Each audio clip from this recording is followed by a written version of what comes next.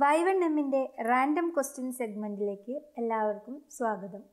ഇന്ന് നമ്മൾ സിവിൽ എഞ്ചിനീയറിംഗിലെ അഞ്ച് Kerala P S C questions ആണ് ഡിസ്കസ് ചെയ്യാൻ പോകുന്നത്. ഫസ്റ്റ് ക്വസ്റ്റ്യൻ ഇതാണ്. The cut back bitumen with a high percentage of diesel or heavy type oil used for water proofing earth roads and for dust control is known as. ഡീസലിന്റെ high percentage ഉള്ള അല്ലെങ്കിൽ ഏതെങ്കിലും ഒരു heavy type ഓയിലിന്റെ high percentage ഉള്ള cut back bitumen ഏതാണെന്നാണ് ചോദിക്കുന്നത്. പ്രത്യേകം പറഞ്ഞിട്ടുണ്ട് നമ്മളത് ഉപയോഗിക്കുന്നത് എർത്ത് റോഡ്സിന്റെ വാട്ടർ പ്രൂഫിങ്ങിന് വേണ്ടിയിട്ടും അതുപോലെ തന്നെ അത്തരത്തിലുള്ള റോഡിൽ ഉണ്ടാകുന്ന ഡസ്റ്റ് കൺട്രോൾ ചെയ്യാൻ വേണ്ടിയിട്ടാണ് നമ്മൾ ഇത്തരത്തിലുള്ള ഒരു കട്ട് ബാക്ക് ബിറ്റുമിൻ ഉപയോഗിക്കുന്നത്. അത് ഏതാണെന്നാണ് ചോദ്യം? അതിന് നമുക്ക് ഓപ്ഷൻസ് തന്നിട്ടുള്ളത് bitumen emulsion curing cut back road oil road tar ഈ നാല് ഓപ്ഷനിൽ കറക്റ്റ് ആൻസർ എന്ന് പറയുന്നത് റോഡ് ഓയിൽസ് ആണ്. അപ്പോൾ ഈ ബിറ്റുമിൻ എന്ന് പറഞ്ഞിട്ടുണ്ടെങ്കിൽ ശരിക്കും വളരെയധികം ഇംപെർമിയബിൾ ആയിട്ടുള്ള ഒരു മെറ്റീരിയൽ ആണ്. അതിന്റെ ബൈൻഡിങ് പ്രോപ്പർട്ടി വളരെയധികം കൂടുതലായതുകൊണ്ടാണ് നമ്മൾ റോഡ് കൺസ്ട്രക്ഷൻസിനൊക്കെ ബിറ്റുമിൻ ഉപയോഗിക്കുന്നത്. പലതരത്തിലുള്ള ബിറ്റുമിനസ് മെറ്റീരിയൽസ് ഉണ്ട്. അപ്പോൾ നമുക്ക് അത് ഏതൊക്കെയാണെന്ന് ജസ്റ്റ് ഒന്ന് പരിചയപ്പെടാം. അപ്പോൾ ആദ്യം പറയുന്ന ബിറ്റുമിനസ് മെറ്റീരിയൽ എന്ന് പറയുന്നത് ബിറ്റുമിൻ തന്നെയാണ്. ബിറ്റുമിൻ എന്ന് പറഞ്ഞിട്ടുണ്ടെങ്കിൽ ഒരു കോംപ്ലക്സ് ആയിട്ടുള്ള ഓർഗാനിക് മെറ്റീരിയൽ ആണ്. മെയിൻലി ഹൈഡ്രോ കാർബൺ ആണത്. ഇതെല്ലാം നമ്മൾ ഉണ്ടാക്കുന്നത് ഫ്രാക്ഷണൽ ഡിസ്റ്റിലേഷൻ ഓഫ് പെട്രോളിയം വഴിയാണ്. ഫ്രാക്ഷണൽ ഡിസ്റ്റിലേഷൻ എന്ന് പറഞ്ഞിട്ടുണ്ടെങ്കിൽ പെട്രോളിയം എന്ന് പറയുന്ന പ്രോഡക്റ്റിന്റെ അതിന്റെ അകത്ത് ഒരുപാട് കമ്പോണൻസ് ഉണ്ടാവും. അതിന്റെ എല്ലാം വോളറ്റൈലിറ്റി അല്ലെങ്കിൽ അതിന്റെയൊക്കെ ബോയിലിംഗ് പോയിന്റിനനുസരിച്ച് നമുക്ക് അതിനെല്ലാം സെപ്പറേറ്റ് ചെയ്തെടുക്കാൻ പറ്റും. അതിലുള്ള പല കമ്പോണൻസിനും അങ്ങനെ നമ്മൾ സെപ്പറേറ്റ് ചെയ്തെടുക്കുന്ന ഒരു കമ്പോണന്റ് ആണ് ഈ ബിറ്റുമിൻ എന്ന് പറയുന്നത്. ബ്ലാക്ക് അല്ലെങ്കിൽ ബ്രൗൺ ആണ് കളറ് പിന്നെ വെള്ളത്തിൽ ഒരിക്കലും അത് സൊലുബിൾ ആയിരിക്കില്ല. ഇത് ആകെ സൊലുബിൾ ആയിട്ടുള്ളത് കാർബൺ ബൈസൾഫേറ്റിലാണ് പിന്നെ ഇതൊരു നല്ല ബൈൻഡിങ് മെറ്റീരിയൽ ആണ് ഇംപെർമിയബിൾ ആണ്. അതുപോലെ തന്നെ ഇതിന് ഹീറ്റ് ചെയ്യുന്ന സമയത്ത് ഇത് സോഫ്റ്റ് ആവും കൂൾ ചെയ്യുന്ന സമയത്ത് ഹാർഡ് ആവും. അടുത്ത ബിറ്റുമിനസ് മെറ്റീരിയൽ ആണ് അസ്ഫാൾട്ട് എന്ന് പറയുന്നത്. നമ്മുടെ അസ്ഫാൾട്ടിക് ബിറ്റുമിന്റെ കൂടെ കുറച്ച് ഇനേർട്ട് മിനറൽസും കൂടി വരുന്ന ഒരു കോമ്പൗണ്ടാണ് അസ്ഫാൾട്ട് എന്ന് പറയുന്നത്. ഈ ഇനേർട്ട് മിനറൽസ് എന്ന് പറഞ്ഞിട്ടുണ്ടെങ്കിൽ അലുമിന ലൈം സിലിക്ക അത്തരത്തിലുള്ള കമ്പോണൻസ് ആണ്. അസ്ഫാൾട്ട് ശരിക്കും നാച്ചുറലി മൊക്കർ ചെയ്യുന്നുണ്ട്. അതുപോലെ തന്നെ ആർട്ടിഫിഷ്യലി നമുക്ക് ഫ്രാക്ഷണൽ ഡിസ്റ്റിലേഷൻ വഴി ഉണ്ടാക്കാവുന്നതാണ്. നാച്ചുറലി ഉണ്ടാവുക എന്ന് പറഞ്ഞിട്ടുണ്ടെങ്കിൽ ലേക്കിലൊക്കെ ഉള്ള ഡെപ്പോസിറ്റ് അതുപോലെ തന്നെ റോക്ക് അതിൽ നിന്നൊക്കെ നമുക്ക് ഈ ഒരു അസ്ഫാൾട്ട് ഉണ്ടാക്കാവുന്നതാണ്.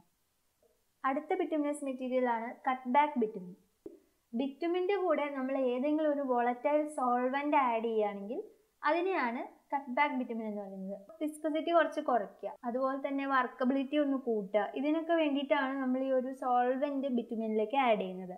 സോൾവെന്റ് ഇവാപ്പറേറ്റ് ചെയ്ത് പോയതിന് ശേഷം നമ്മുടെ ബിറ്റുമിൻ ഹാർഡ് ആവുകയാണ് ചെയ്യുന്നത്. അപ്പോൾ ഈ കട്ട് ബാക്ക് ബിറ്റുമിൻ തന്നെ നമ്മൾ ഈ സോൾവെന്റ് എത്ര പെട്ടെന്ന് ഇവാപ്പറേറ്റ് ചെയ്ത് പോകുന്നു എന്നതിനനുസരിച്ച് മൂന്നായിട്ട് ഡിവൈഡ് ചെയ്തിട്ടുണ്ട്. Rapid curing medium curing slow curing rapid curing എന്ന് പറഞ്ഞിട്ടുണ്ടെങ്കിൽ സോൾവെന്റ് പെട്ടെന്ന് തന്നെ ഇവാപ്പറേറ്റ് ചെയ്തു പോകും. അപ്പോൾ വിറ്റമിൻ അതിനനുസരിച്ച് പെട്ടെന്ന് ഹാർഡാവും പിന്നെ മീഡിയം ക്യൂറിങ്ങിൽ പറയുകയാണെങ്കിൽ അത് മീഡിയം ഒരു റേറ്റിലാണ് സോൾവെന്റ് ഇവാപ്പറേറ്റ് ചെയ്തു പോവുക. സ്ലോ ക്യൂറിങ് എന്ന് പറഞ്ഞിട്ടുണ്ടെങ്കിൽ സോൾവെന്റ് വളരെ പതുക്കെ ഇവാപ്പറേറ്റ് ചെയ്ത് പോവുള്ളൂ. അപ്പോൾ റാപ്പിഡ് ക്യൂറിങ് സോൾവെന്റിന് എക്സാമ്പിൾസ് ആണ് ബെൻസീൻ നാഫ്ത ഗ്യാസലിൻ ഇങ്ങനെയുള്ളതെല്ലാം. മീഡിയം ക്യൂറിങ് കട്ട് ബാക്ക് ബിറ്റമിനിൽ നമ്മൾ ഉപയോഗിക്കുന്ന സോൾവെന്റിന് എക്സാമ്പിൾ ആണ് kerosene light diesel oil etcetera അതുപോലെ തന്നെ സ്ലോ ക്യൂറിങ് ആയിട്ടുള്ള കട്ട് ബാക്ക് ബിറ്റമിനിൽ നമ്മൾ ഉപയോഗിക്കുന്ന solvent gas oil of high boiling point ആണ്. ഈ മൂന്ന് ടൈപ്പ് കട്ട് ബാക്ക് ബിറ്റുമിൻ നമ്മൾ എടുക്കുകയാണെങ്കിലും അതിലിപ്പോൾ ആർ സി എന്ന് പറയുന്നത് റാപ്പിഡ് ക്യൂറിങ് ആണ്. എം സി എന്ന് പറയുന്നത് മീഡിയം ക്യൂറിങ് എസ് സി എന്ന് പറയുന്നത് സ്ലോ ക്യൂറിങ് അപ്പോൾ ഇതിനെല്ലാത്തിനും നമ്മൾ സീറോ തൊട്ട് ഫൈവ് വരെ ഗ്രേഡ് ആയിട്ട് പറയുന്നുണ്ട്. കട്ട് ബാക്കിന്റെ വിസ്കസിറ്റിനെയാണ് ഈ zero one two three four five കൊണ്ട് ഉദ്ദേശിക്കുന്നത്. ഇപ്പോൾ ആർ സി സീറോയും ആർ സി ഫൈവും കമ്പയർ ചെയ്യുകയാണെങ്കിൽ ആർ സി ഫൈവിനായിരിക്കും കുറച്ചുകൂടി വിസ്കസിറ്റി കൂടുതൽ ഉണ്ടായിരിക്കുക R C three M C three S C three ഇത് മൂന്നെണ്ണത്തിനും ഒരു സ്പെസിഫൈഡ് ടെമ്പറേച്ചറിൽ സെയിം ഇനീഷ്യൽ വിസ്കസിറ്റി ആയിരിക്കും. അതാണ് ആ നമ്പറുകൾ മൂന്നും സെയിം ആണല്ലോ. പേര് ഇപ്പോൾ റാപ്പിഡും മീഡിയവും സ്ലോ ക്യൂറിങ്ങും ആണ്. ഈ മൂന്ന് കോമ്പൗണ്ടിനും സെയിം ഇനീഷ്യൽ വിസ്കസിറ്റി ആയിരിക്കും എന്നാണ് പറയുന്നത്. അപ്പോൾ ഇതൊക്കെയാണ് കട്ട് ബാക്ക് ബിറ്റുമിനിൽ പറയാനുള്ളത്. അടുത്ത ടൈപ്പ് ഓഫ് ബിറ്റുമിനസ് മെറ്റീരിയൽ എന്ന് പറയുന്നത് ബിറ്റുമിൻ എമൽഷൻ ആണ്. Molten bitumen with hot water plus emulsifying agent ഇതാണ് ബിറ്റുമിൻ ഇമൽഷൻ ബിറ്റുമിന്റെ കൂടെ കുറച്ച് ഇമൽസിഫൈങ് ഏജൻസും കൂടി നമ്മൾ ആഡ് ചെയ്തിട്ടുണ്ടാക്കുന്ന ഒരു കോമ്പൗണ്ടാണ് ബിറ്റുമിൻ എമൽഷൻ എന്ന് പറയുന്നത്.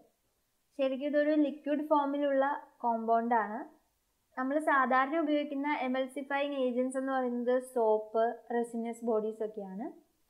പ്രിവെൻസ് ബിറ്റുമിൻ ഫ്രം കൊയാഗുലേഷൻ അടുത്ത ടൈപ്പ് ഓഫ് ബിറ്റുമിനസ് മെറ്റീരിയൽ ആണ് റോഡ് ടാർ റോഡ് ടാർ നമ്മൾ എപ്പോഴും കേട്ടിട്ടുണ്ടാവും.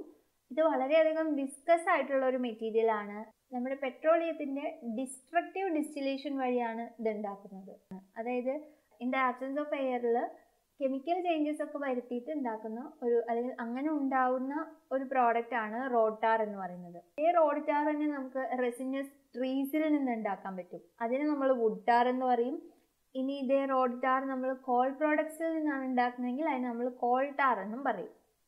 ഈ റോഡ് ടാറിനെ നമ്മൾ ആർ ടി എന്ന് പറഞ്ഞിട്ടാണ് റെപ്രസെന്റ് ചെയ്യുന്നത്. അതിനും ഗ്രേഡ് ഉണ്ട്. One two three four five എന്ന് പറഞ്ഞിട്ട്. നമ്പർ കൂടുന്തോറും നമ്മുടെ കോമ്പൗണ്ട് വിസ്കസ് ആവുമെന്നാണ് പറയുന്നത്. പിന്നെ ആർ ടി വൺ ഉപയോഗിക്കുന്നത് സർഫസ് ഡ്രസ്സിങ്ങിനാണ് പിന്നെ നോർമൽ ഇന്ത്യൻ കണ്ടീഷനിലുള്ള ആർ ടി ടു ഉപയോഗിക്കുന്നു. സർഫസ് പെയിന്റിങ്ങിനൊക്കെ നമ്മൾ ആർ ടി ത്രീ ഉപയോഗിക്കുന്നു. റോഡ് കൺസ്ട്രക്ഷന്റെ ബേസ് കോഴ്സിലൊക്കെ ആർ ടി ഫോർ ആണ് ഉപയോഗിക്കുന്നത്. പിന്നെ ആർ ടി ഫൈവ് ഗ്രൗട്ടിംഗ് പർപ്പസിനൊക്കെയാണ് സാധാരണ ഉപയോഗിക്കുന്നത്. അപ്പം ഇത്രയൊക്കെയാണ് റോഡ് ടാറിനെ പറ്റി പറയാനുള്ളത്. അടുത്ത മെറ്റീരിയൽ റോഡ് ഓയിലാണ് റോഡ് ഓയിൽ എന്ന് പറഞ്ഞിട്ടുണ്ടെങ്കിൽ slow curing cut back asphalt അതായത് നമ്മുടെ അസ്ഫാൾട്ടിന്റെ കൂടെ ഒരു സ്ലോ ക്യൂറിങ് ആയിട്ടുള്ള വോളറ്റൈൽ ഏജന്റ് ആഡ് ചെയ്യുമ്പോൾ കിട്ടുന്ന ഒരു മെറ്റീരിയൽ ആണ് റോഡ് ഓയിൽ എന്ന് പറയുന്നത്. എർത്തൺ റോഡ്സിന്റെ വാട്ടർ പ്രൂഫിങ്ങിനും അതുപോലെ തന്നെ അവിടുത്തെ ഡസ്റ്റ് കൺട്രോളിനും ഉപയോഗിക്കുന്ന ആ ഒരു ബിറ്റുമിനസ് ആയിട്ടുള്ള മെറ്റീരിയലിന്റെ പേര് റോഡ് ഓയിൽ എന്നുള്ളതായിരുന്നു. ഓക്കെ ഇനി ഒരു ബിറ്റുമിനസ് മെറ്റീരിയലും കൂടി ഉണ്ട്. അതിന്റെ പേരാണ് പ്രൈമർ ഈ പ്രൈമർ എന്ന് പറയുന്നത് റോഡ് ഓയിൽ ആവാം കട്ട് ബാക്ക് അസ്ഫാൾട്ട് ആവാം ലോ വിസ്കസിറ്റി ടാർ ആവാം ഈ പ്രൈമർ ആക്ച്വലി നമ്മുടെ റോഡ് സർഫസിലേക്ക് പെനിട്രേറ്റ് ചെയ്തിട്ട് എല്ലാ അഗ്രിഗേറ്റിന്റെ മീഡിയം കോട്ട് ചെയ്ത് അതിനെ നല്ല തറവായിട്ട് ബൈൻഡ് ചെയ്ത് നിർത്താൻ വേണ്ടിയിട്ടാണ് അപ്ലൈ ചെയ്യുന്നത്. ഈ ഏഴ് ടൈപ്പ് ബിറ്റുമിനസ് മെറ്റീരിയൽസ് ആണ് നമ്മൾ റോഡ് കൺസ്ട്രക്ഷൻസിലൊക്കെ ഉപയോഗിക്കുന്നത്. ഇതായിരുന്നു നമ്മുടെ ക്വസ്റ്റ്യൻ റോഡ് ഓയിലാണ് ആൻസർ വരുന്നത്. സെക്കൻഡ് ക്വസ്റ്റ്യൻ ഇതാണ്. A portion of brick obtained by cutting a brick lengthwise into two portion is known as ഒരു ബ്രിക്കിന് ലെങ്ത് വൈസ് ആയിട്ട് കട്ട് ചെയ്ത് രണ്ട് പീസ് ആക്കാണ്. അങ്ങനെ കട്ട് ചെയ്തിട്ടുള്ളതിൽ ആ ഒരു പീസിനെ വിളിക്കുന്ന പേരെന്താണെന്നാണ് ചോദ്യം. ഓപ്ഷൻസ് ഇതൊക്കെയാണ്. Queen closer king closer bevelled closer mitred closer ഈ ക്വസ്റ്റിന്റെ ആൻസർ ക്യൂൻ ക്ലോസർ ആണ്. ഇത് നമ്മുടെ ഒരു ബ്രിക്കാണ് ഈ ബ്രിക്കിന്റെ ലെങ്ത് എന്ന് പറയുന്നത് ഈ ഒരു ഡയറക്ഷനിലുള്ള ഈ ഒരു ഡയമെൻഷനാണ് ഈ ലെങ്ത്തിന്റെ പകുതിയും അതുപോലെ തന്നെ ഈ ബ്രിക്കിന്റെ വിഡ്ത്ത് എന്ന് പറഞ്ഞാൽ ഈ ഒരു ഡയമെൻഷനാണ് അപ്പോൾ ഈ വിഡ്ത്തിന്റെ പകുതിയും ഇവിടെ. ലെങ്ത്തിന്റെ പകുതിയും വിഡ്ത്തിന്റെ പകുതിയും എടുത്ത് നമ്മളിങ്ങനെ കട്ട് ചെയ്ത് കളയാണ്. അപ്പോൾ ബാക്കി ഉണ്ടാവുന്ന ഈ ഒരു പോർഷനെ വിളിക്കുന്ന പേരാണ് കിങ് ക്ലോസർ ഇതുപോലെ ഇരിക്കും. അത് കട്ട് ചെയ്ത് കഴിയുമ്പോൾ അതായത് ലെങ്ത്തിന്റെ പകുതി കട്ട് ചെയ്തു വിഡ്ത്തിന്റെ പകുതി കട്ട് ചെയ്തു. അപ്പോൾ ഇത്രയും ഭാഗം നമ്മൾ കട്ട് ചെയ്ത് കളഞ്ഞു. ബാക്കിയുള്ള ഈ ഒരു പോർഷനെ വിളിക്കുന്ന പേരാണ് കിങ് ക്ലോസർ ഇനി നമ്മളിപ്പോൾ ഒരു കോർണറിൽ നിന്ന് ഓപ്പോസിറ്റ് ഫേസിലേക്ക് ഒരു പർട്ടിക്കുലർ ആംഗിളിൽ ഇങ്ങനെ കട്ട് ചെയ്ത് കളഞ്ഞിട്ട് ബാക്കി ഉണ്ടാവുന്ന ഈ ഒരു പീസിനെ വിളിക്കുന്ന പേരാണ് ബിവൽഡ് ക്ലോസർ ഇനി നമ്മളൊരു ബ്രിക്കിന്റെ ഒരു കോർണറിൽ നിന്ന് forty five to sixty degree ആംഗിളിൽ കട്ട് ചെയ്ത് കളയാണ്. എന്നിട്ട് ബാക്കി ഉണ്ടാവുന്ന ഈ ഒരു പോർഷനെ വിളിക്കുന്ന പേരാണ് മൈട്രഡ് ക്ലോസർ എന്ന് പറയുന്നത്. ആ ഇമേജാണ് ഈ കാണിച്ചിരിക്കുന്നത്. അതായത് ഒരു കോർണറിൽ നിന്ന് നമ്മൾ ഒരു ഫോർട്ടി ഫൈവ് ടു സിക്സ്റ്റി ഡിഗ്രിയിൽ കട്ട് ചെയ്ത് കളഞ്ഞു ഒരു പോർഷൻ ഓഫ് ബ്രിക്ക് ബാക്കിയുള്ള ഈ ഒരു പോർഷനെയാണ് മൈട്രഡ് ക്ലോസർ എന്ന് പറയുന്നത്. ഇനി നമ്മുടെ ക്വസ്റ്റ്യനിൽ ചോദിച്ചിട്ടുണ്ടായിരുന്നത് ക്യൂൺ ക്ലോസറിനെ പറ്റിയിട്ടാണ്. ക്യൂൺ ക്ലോസർ ആണ് ഈ കാണിച്ചിട്ടുള്ളത്. ഇതാണ് നമ്മുടെ ഒരു ബ്രിക്ക് ഈ ബ്രിക്കിനെ ലെങ്ത്തിന് പാരലായിട്ട് നമ്മൾ കട്ട് ചെയ്യാണ്. അപ്പോൾ നമുക്ക് ഇങ്ങനെ നീളത്തിലുള്ള ഒരു പീസ് കിട്ടും. ഈ ഒരു പീസിനെയാണ് ക്യൂൺ ക്ലോസർ എന്ന് പറയുന്നത്. ഈ ക്യൂൺ ക്ലോസറിന്റെ പകുതിയാണ് ഈ കാണിച്ചിട്ടുള്ളത്. ഇതൊക്കെയാണ് സാധാരണ ബ്രിക്ക് മേസൺറിയിൽ ഉപയോഗിക്കുന്ന ബ്രിക്കിന്റെ പോർഷൻസ് എന്ന് പറയുന്നത്. ഇനി നമുക്ക് അടുത്ത ക്വസ്റ്റ്യനിലേക്ക് പോവാം. The type of vibrator generally used for concrete road construction is concrete road കൺസ്ട്രക്ഷന് ഉപയോഗിക്കുന്ന വൈബ്രേറ്ററിന്റെ ടൈപ്പ് ഏതാണെന്നാണ് ചോദ്യം. Options form vibrator internal vibrator vibrating tables surface vibrator ഈ ക്വസ്റ്റിന്റെ ആൻസർ എന്ന് പറയുന്നത് സർഫസ് വൈബ്രേറ്റർ ആണ്. ഈ കാണിച്ചിരിക്കുന്നതാണ് സർഫസ് വൈബ്രേറ്റർ ഇതാണ് ഒരു കോൺക്രീറ്റ് റോഡ് അപ്പോൾ ഇത്തരത്തിലുള്ള ഒരു റോഡിന്റെ കൺസ്ട്രക്ഷനിൽ നമ്മൾ ഉപയോഗിക്കുന്ന ഇങ്ങനത്തെ വൈബ്രേറ്ററിനെയാണ് സർഫസ് വൈബ്രേറ്റർ എന്ന് പറയുന്നത്. ഇനി നമ്മളൊരു റീഇൻഫോഴ്സ്ഡ് കോൺക്രീറ്റിന്റെ വർക്ക് എടുക്കുകയാണെങ്കിൽ അവിടെ നമ്മൾ ഉപയോഗിക്കുന്ന ഇത്തരത്തിലുള്ള വൈബ്രേറ്ററുകളെയാണ് നീഡിൽ വൈബ്രേറ്റർ എന്ന് പറയുന്നത്. അതെന്തിനാന്ന് പറഞ്ഞിട്ടുണ്ടെങ്കിൽ ഈ റീഎൻഫോഴ്സ്മെന്റിന്റെ ഉള്ളിലേക്ക് ഈ കോൺക്രീറ്റ് ഇറങ്ങി ചെല്ലാൻ വേണ്ടിയിട്ടാണ് നമ്മൾ ഇത്തരത്തിലുള്ള വൈബ്രേറ്റർ ഉപയോഗിക്കുന്നത്. ഇനി നമുക്ക് അടുത്ത ക്വസ്റ്റ്യനിലേക്ക് പോവാം. The commonly adopted nominal size of traditional brick is approximately traditional ബ്രിക്കിന്റെ സാധാരണ നമ്മൾ അഡോപ്റ്റ് ചെയ്യുന്ന നോമിനൽ സൈസ് എത്രയാണെന്നാണ് ചോദ്യം. ഓപ്ഷൻസ് ഇതൊക്കെയാണ്.